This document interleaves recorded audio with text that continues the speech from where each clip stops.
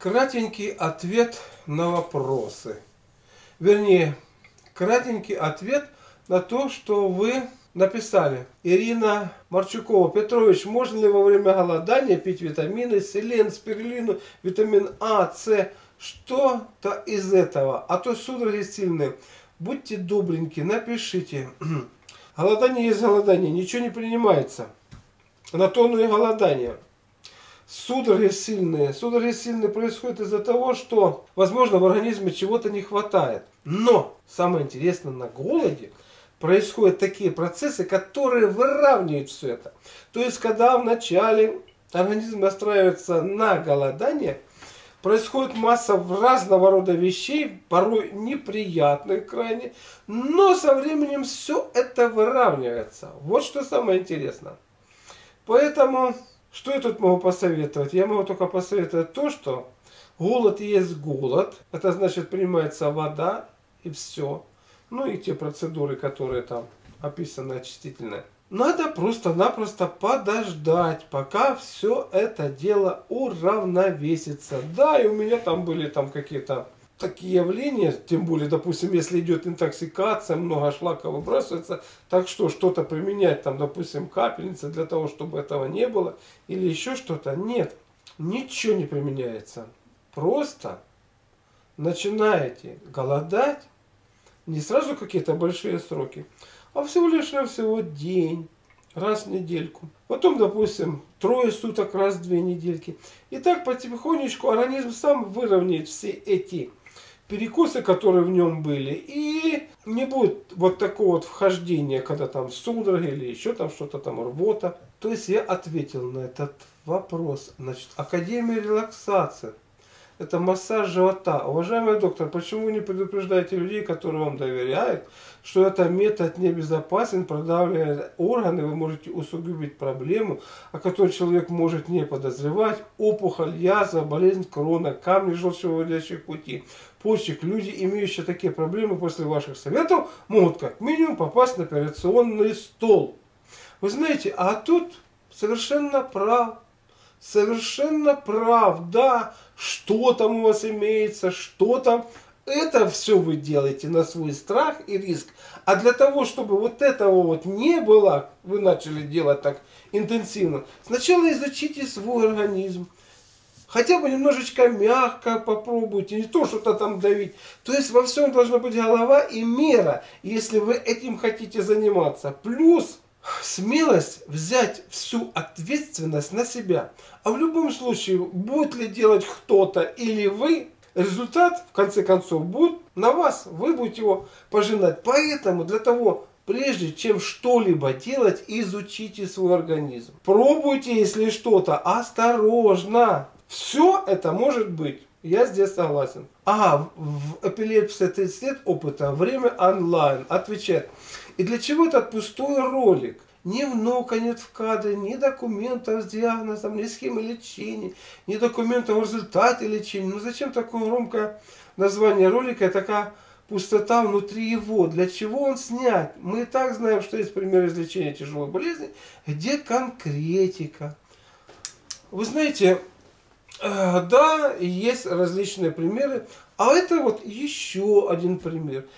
И это как раз разговор с человеком, который через все это прошел. Возможно, кому-то это не надо, абсолютно не надо, он с этим не сталкивался, или там что-то там, конкретика действительно какая-то нужна. Вот, а здесь совершенно иное, совершенно иное показано, возможность выслушать человека, освободить его от того груза, который в нем скопился за эти 30 лет, который он вынес. Вот в чем суть этого ролика. А далее уже, если вы хотите, там непосредственно, можете пообщаться с ним самим. Но самая важная задача, прежде всего заявить, что такое есть, как Тигран говорит, альтернатива, да, вот одно, а вот тебе другое. И посмотрите внимательно мои вот эти вот там комментарии и плакатики, которые там в видео. Получается, что не зная, что такое эпилепсия, как действуют эти лекарства, ну, примерно вот так там это. пытаются это лечить. Я тут немножечко отвлекуся, отвлекуся.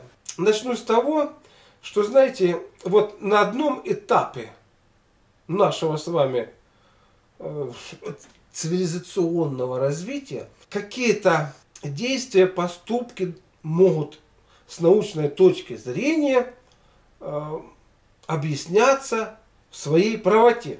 А именно, вот начнем со средних веков.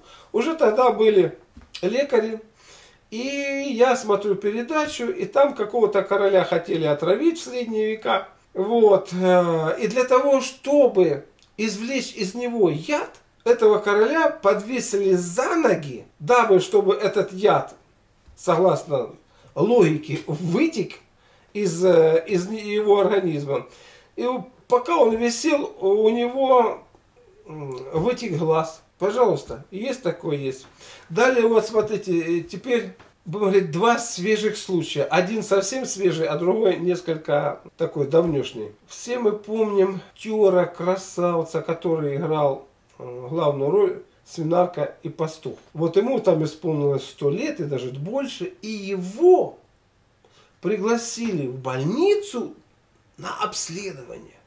Как же так, мол, ты вот сто лет живешь, как у тебя состояние организма, что там у тебя, в порядке, что там не в порядке. Ну, короче, пригласили старикана. Он оступился на ступеньки, упал и сломал шейку бедра. И вскоре умер. Вот тебе обследование в больнице. Вроде бы пригласили с благой целью, которая привела к чему? К концу этого актера. Юрий Лужков. Человеку идет 84 год. Дожить бы до такого, дожить бы. Плановая операция. Я просто не знаю, как сказать. Плановая операция на сердце. Существует такое понятие, а хватит ли у человека жизненной силы, чтобы пережить само лечение? И, как правило, у стариков они уже там минимум этой жизненной силы. Естественно, любой там его так вот толкни посильнее, и все. Ему не хватит жизненной силы, чтобы прийти опять в прежнее равновесие. А тут операция. Как, как современная там медицина, вот с каких она позиций решила так сделать плановую операцию на сердце у человека, которому там всего лишь осталось там пожить, ну, несколько лет вообще-то. Тут его надо просто оберегать, чтобы чтоб не было никаких этих потрясений, тем более таких манипуляций со здоровьем. И приехал сам с родней, а увезли мертвого.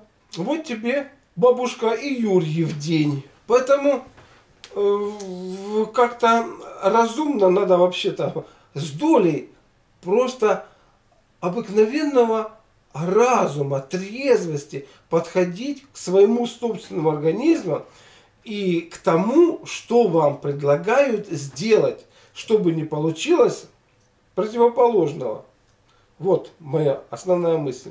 Вот они вам и документы с диагнозами, схемы лечения и прочее, прочее, прочее, прочее, прочее. А это пример того, эпилепсия 30 лет, как человек сумел не с первой попытки, но зато со второй справиться с этим заболеванием. А это дорогого стоит. И вот это то, что дорогого стоит, об этом я как раз и хотел рассказать. Вот для чего этот ролик. Так, Виталик, эпилепсия в основе духовного заболевания. Не будем спорить, что это за заболевание. Тем более, когда если появляется второе «я», это накладывает, знаете, такие мысли, что это не только там повреждены там какие-то в голове центре. Так, Андрей Чудеса, опять-таки про эпилепсию. Так, а что покупать и принимать-то? Вот, Андрей, чудеса. Не покупать и принимать. А сначала, сначала надо понять. Сначала вот надо послушать. Вот такие вот беседы, знаете, вроде бы они кажутся как беседа там ни о чем, нету конкретных рецептов или еще что-то. Хотя там все сказано, почему там нету там рецепта, нету еще там схемы лечения. Сам подход Это очень важно. Если в основе лежит правильный подход, вы можете оставаться здоровым.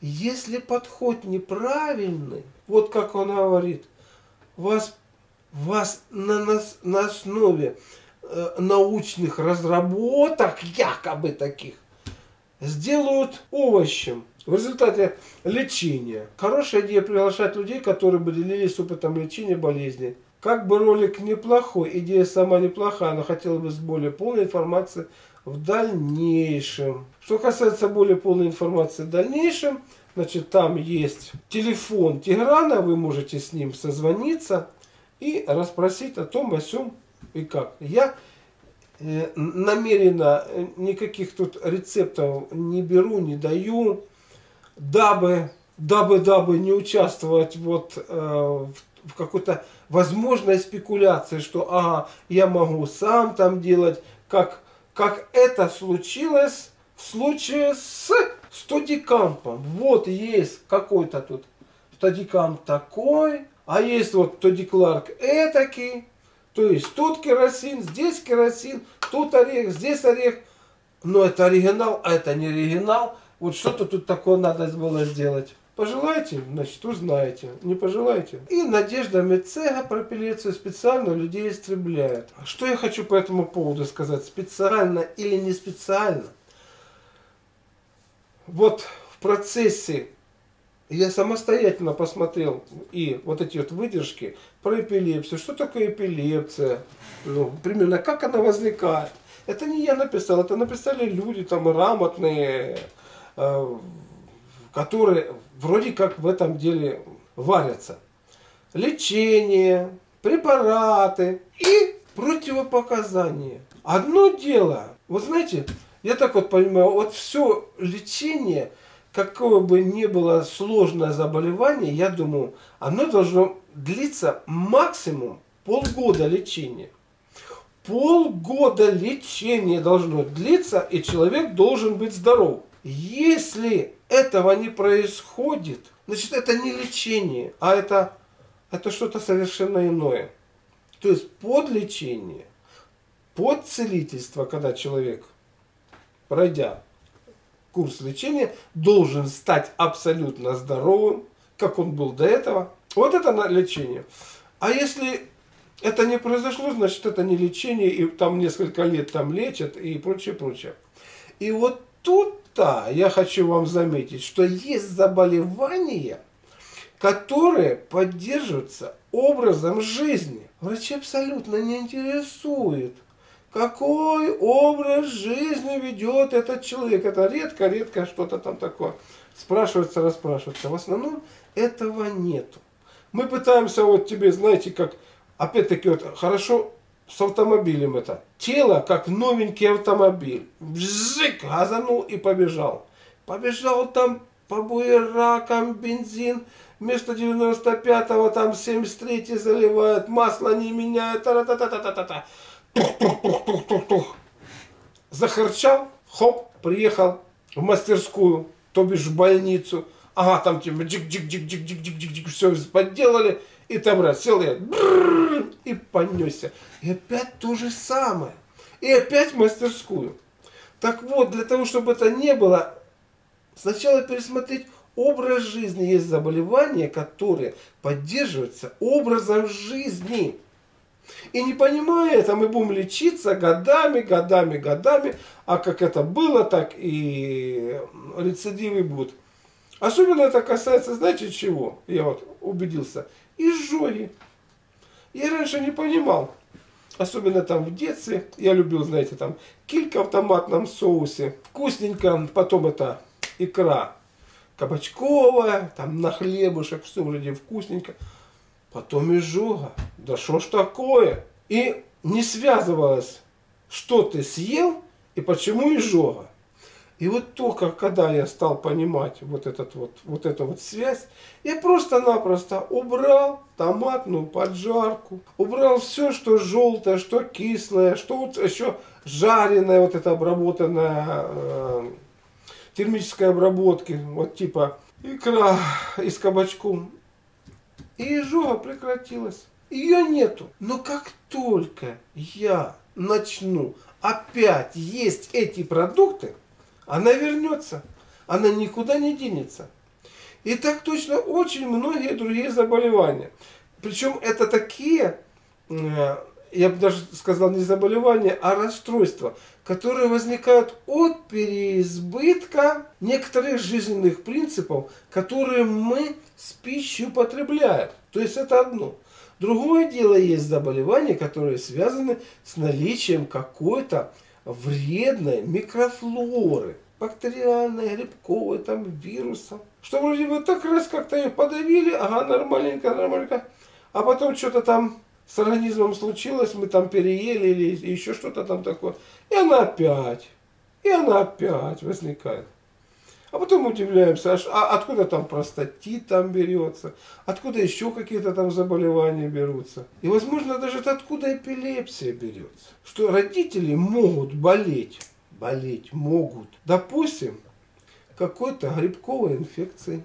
А их дети, вроде бы грибка может быть особо не быть.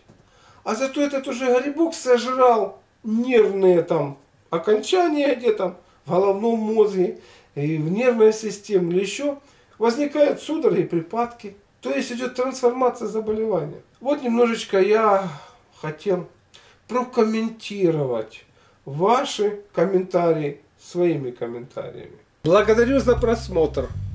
Если вам понравилось видео, ставьте лайк, звоните в колокольчик и подпишитесь на канал. Ваше участие развивает канал и способствует его продвижению. Доброго здоровья и до новых встреч!